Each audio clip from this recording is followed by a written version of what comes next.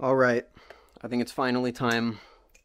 It's finally time we talk about the Sasori, one of the most conflicting balisongs I have ever had on this channel, I've ever had to talk about, even more than the Haze Attack Jigsaw, not because I took so long to figure it out, which I did, but because not only does the Sasori represent so much for me in terms of the changing of the guard, in terms of Machinewise stuff, but it also was a balisong that my opinions have changed on so, so, so much. So let's talk about the wild month that I've had with the Sasori and what I think about it. I want to start off the video by saying that I think that this is a phenomenal balisong and that Machinewise is doing good things with their new lineup. I'm not here to trash on their new lineup. I'm not here to say that it sucks. And I think the Sasori is genuinely a good balisong. I don't want that to get lost in the talking that I'm going to do in this video about what I don't like about the Sasori because ultimately I still find the Sasori to be an above average balisong. So it's just going to be a bit complicated with me kind of complaining about this or saying this about that. I still think this is above average. I still think it's fantastic. I still think Machinewise is killing it. I just don't think, spoilers, that this is going to overtake the Prisma Pro for me personally. But again, I don't believe that the Prisma Pro is a superior product. So I want to make that clear before we go forward. The Sasori was a balisong that I started off extremely, extremely positive on. It flipped so good the week that I was at Blade Show, or the weekend that I was at Blade Show, until the next day after I bought it, I sat down. See, when you sit down and you flip a balisong, you're usually resting your elbow, or your elbow isn't able to move as much. When I stand up and I flip, my elbow can go wherever it want. You might notice specifically that when I'm doing tricks that go underhand, my elbow kicks out a little bit. You can see it moving back and forth, back and forth, back and forth. And that's helping my wrist generate momentum for the balisong so that I can do the tricks that I want. Unfortunately, when you sit down, it becomes a completely different experience. My elbow is now stuck here, and I can't move it back and forth like I typically can when I'm flipping when I'm standing up. So I have to change how I flip. I have to generate that momentum from other places. And unfortunately, that's where the Sasori started to show its cracks for me. Because I remember sitting on the ground in a corner helping Ty script out a video, and I was flipping the Sasori, and it kept flying off my fingers when I chaplained it. Because I'm not able to move my arm as much, I'm not able to generate the circular momentum that the Sasori needs to stay in a stable chaplain. And while it's not Vulp level, I certainly don't lose control of this thing as much as I lose control of something like a Vulp. It's still something that was annoying me as I was sitting down. And it's something that other people were telling me, specifically Pyro, was like, hey, I mean, I like it, I just think it needs the heavier weights. So, after an extremely difficult, having an extremely difficult time getting these bottom pivots out, which I'm not going to fault the Balisong for because these are pre-production units, specifically because there was some issue with the Zen pins, which means that the blade is not going to be compatible with the other parts of the Ori platform going forward, which isn't a problem anymore. It literally only affects the units they sold before and during Blade Show. Um, but the pivots are also messed up because of a of a misplaced like they messed up like op 2 or something, which means that the holes aren't exactly centered. So my bite handle pivot specifically, I have to unscrew it and literally hammer it against a table to even begin to get it out. Because otherwise, it's just not budging. So I finally did that. I finally got it out, and I put the heavier weights in. And I fully expected it to completely fix all of my problems. It's going to generate more momentum. It's going to be a little more handle bias. I'm not going to have trouble with the with the um, oh my gosh, what am I with the with the momentum? It's going to be perfect. Not going to have a problem with the chaplains. The momentum will be fine. It'll be great. And I put them in, and I flipped it, and it just it just felt weird. Now this is the point where I want to make it clear that this thing is a very very interesting piece of balisong engineering. Not so much as exciting to me as something like the zippy spacers are, but something that I think a lot of people aren't giving them enough credit for because the balancing act that they had to do to get these adjustable titanium weights in there had to have been a huge undertaking. You see, when you're balancing a normal aluminum balisong, you generally have two schools of thought. One school says, hey, let's put pivots at the end of the handles to create a denser area with more weight so that it carries more momentum. Or we skip that, avoid some of the momentum and extra density you can gain from this, but we create a bigger piece of aluminum at the end to create a more neutral feeling handle that doesn't really have any hot spot towards the end of the handle. Now, the problem with this is that if you don't add enough weight to the ends, I think the wing is one of the only balisongs I can think of that successfully implements this pivotless design. Um, if you don't add enough to the ends of the handles, you're going to get... Oh, actually, no. The Firefly is extremely successful in that situation. But if you don't add enough weight to the ends of the handles, you're going to have issues with momentum. And that's my problem with basically every pivotless design that comes out. The Baikal comes close to fixing it, but there are still issues with it where I find myself wanting more momentum. The Sirius is a huge one where if it had just a tiny bit more momentum, it would be quite literally my perfect flipper. Um, I think the Sirius trainer is fantastic and only gets brought down by its lack of momentum that happens sometimes. Again, when I'm standing up, it's fine, but when I sit down and I'm not able to put as much effort into it, I find that it has a few problems. Um, but the wing is one that very successfully does this. The problem is, not only does Machinewise in this design have to balance those pivots, but they also have to balance this titanium, which means that the ends of these handles are far more heavy than any comparable aluminum balisong would be. And it's probably why the blade of this thing is about the same length as the old blades used to be on the Marin platform, but the handles are so much shorter. You can see if we line these things up at the pivots, if we take this, we line it up at the pivots, make the pivots kiss, just like that, the blade is very, very, very similar to the old Prisma blade, but the handles aren't. The handles are much shorter, and you can see that we're losing about half of that pivot area. I think that's genuinely because this not only Machinewise wanted to make a smaller design, but this weight system added so much to the overall process of balancing these handles. Which means that if you add the heavier titanium weights, you get an unnatural amount of end weight. Which doesn't really manifest that well because the blade is also kind of long for these handles. Also not. It, it's such a strange balisong because it's a more standard it's a more standard weight. It's a more stand no, not sorry. It's a more standard length, but it's also flips like it's a long weird balisong. I think it's one of Machinewise's most personality filled aluminum trainers they've ever made. Because flipping the Sasori and then going back to the Prisma Pro, the Prisma Pro feels a lot more standard. Feels a lot more normal, feels a lot more familiar. Granted, it's more familiar because it's been out for longer, but like I get the same feeling going from the Sasori to the Prisma as I do, sorry, the Prisma Pro, as I do going from something like the Prisma Pro to the Kraken Trainer. It just feels more standard.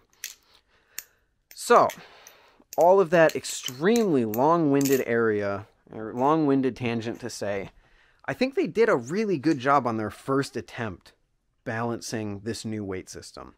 Because we've really never seen something like this, where there's that extra bit of more dense, heavier material in the ends of the handles. So considering that that is there, the normal pocketed weight experience is incredibly, incredibly good. Um, and you can actually see while I'm thinking about it, you can kind of see this weird weight distribution example in both the way that the handles are, they're very thin handles, there's this kind of like weird relief that happens like really high up to what you would normally see in a balisong. You can see the Prisma Pro doesn't even have a relief. If you find a balisong that does have a relief, it usually happens, I think, lower down the channel. I might just be like completely... No, maybe it happens higher up in the channel. I don't really know. I'm going to move off of this topic before I confuse myself and forget where I wanted to go. Um, it flips incredibly well for their first attempt, But I think the weirdness that I've been feeling is just kind of owed to the kinks being worked out with that system because I feel like the non-weighted version or the pocketed weighted version without weights entirely this thing barely flips like at all the the handles are very very light so with the pocketed weights, it doesn't carry enough momentum when I'm sitting down. When I'm standing up, it feels okay, but there's still some weirdness to it. I have trouble with more handle bias tricks, like this double thumb rollover into that that I talked about in the last video I did in the Sasori. That feels really weird on this thing, and on the Prisma Pro is something I can do generally with no problem, like pretty easily, because it has that extra handle weight to it. So it's really strange. And then you put in the full weights and it just doesn't feel right. It feels off in a way that I can't really describe. I think it, again, it flips good. I just find myself messing up because of the weird way that the these ends of the handles are carrying momentum. And speaking of carrying momentum, the blade, which was a huge pain point for a lot of people before we flipped this thing, is not really an issue at all. It's very thick and there is plenty of tip weight in my opinion. I've seen a few people say that there isn't enough tip weight. I find for the overall implementation of this design, there's plenty of tip weight to go around. The thing fans spectacularly. Like, this is kind of what I was talking about with the Seraph. This thing is the type of balisong that fans amazing at the cost of your rollovers and your chaplains. So, I think it fans amazingly. I think the tip weight is fine. I just think the end weight not only is weird compared to what we're used to because of this interesting system, but is also just the first generation of this system, and I think it will improve in the future a bit, maybe. I could also just be talking out of my ass. And none of this is real, and we're all in a simulation, and oh my gosh, we're all gonna die. But yeah, long winded tangent for me to say Prefer the Prisma Pro. Why do I prefer the Prisma Pro? First off, I will say, and I will concede, this thing feels way better in the hands than the Prisma Pro ever did, which is crazy. The tolerances feel better, it sounds way better, and the actual quality of the machining and the finishing is way better. The problem is that the Sasori is a performance balisong in some ways the the sorry, the Sasori's performance in some ways excels, but in other ways falls behind. Whereas the Prisma Pro, I find, even though it's incredibly unique and has a lot of personality, it's made me realize just how much of an all-rounder the Prisma Pro actually is. The Prisma Pro doesn't really falter at anything. You can flip it, flip it fast, you can flip it slow, you can fan it, you can choker fan it, you can chaplain it, you can zero G it, you can roll over it. It does everything that you need it to with basically no problems whatsoever. I find giraffes to be especially easy on the Prisma Pro, even though I'm not going to be able to hit one because, oh, there we go. I find giraffes to be incredibly easy on that. It does what I want it to do. It's an all-rounder. The Sasori specifically excels, like I said, at fans and falls behind in chaplains. I find zero Gs to be a little bit unstable. I find sometimes when I throw it in a rollover, it feels like it really wants to get away from me. To be clear, I am using the pocketed weights right now, the lighter ones. I did use the heavier ones for a while, and I found that it almost carried too much momentum, so it still wanted to get away from me because the handles were just going so far. Um, it fans excellently. It choker fans excellently. I love how it fans and choker fans. It feels amazing. Backhand fans amazingly. But the second I go into a rollover, a zero G, it feels like it, it wants to get away from me. And especially the giraffe, I struggled quite a bit with the giraffe on this thing because it just doesn't want to stick to my hand to do it when I get into the reverse chaplain. Which, yes, you can say it's a skill issue all you want, but that's the reason I like the Prisma Pro better is I don't feel like I'm making any sacrifices with the Prisma Pro. All of the performance is there that I would want to do with basically any trick, whereas with the Sasori, it's more of a specialized flipping experience. And that's ultimately it. That's the reason. It's not because I think the Sasori flips bad. I think it flips really, really well. It's just that when I want performance with personality, I get the Prisma Pro. That's why I love it so much. It has the performance and it has the personality. The Sasori definitely feels all personality. A little bit of performance, but the performance falls a little bit behind.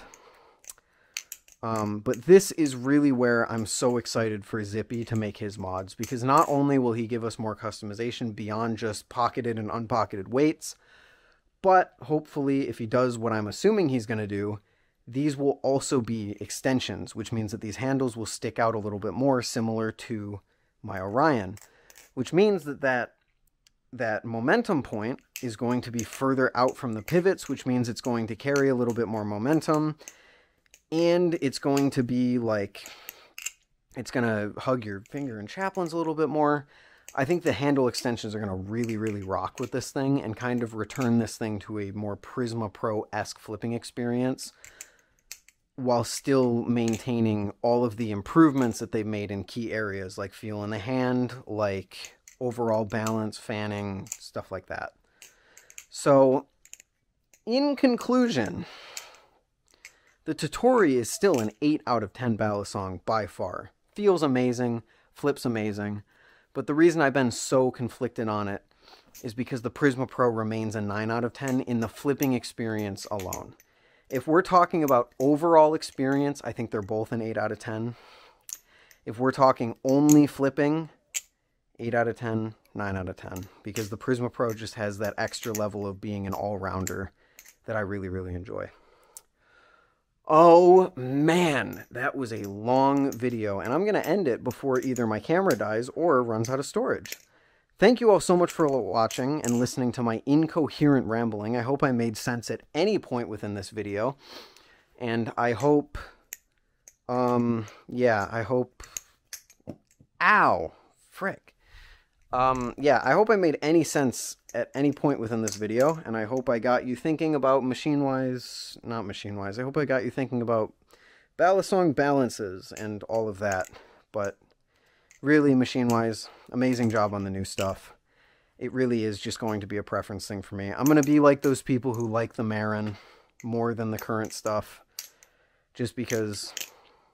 And, you know, maybe you would be right to say, hey, the Machinewise Prisma Pro you only like it better because you flipped it for a year longer than the Sasori. Might be true. Who knows? Um, full disclosure, I paid full price for this, so I don't have to give you any disclosure to that. Bought it at Blade Show, so cool. Thank you to Machinewise. You guys were amazing to talk to. It was amazing that you guys proved me wrong even after I doubted you guys so, so much. And I think that's going to do it for this absolutely mind-bending video. Thank you all for watching, and I'll see you in the next one. Later.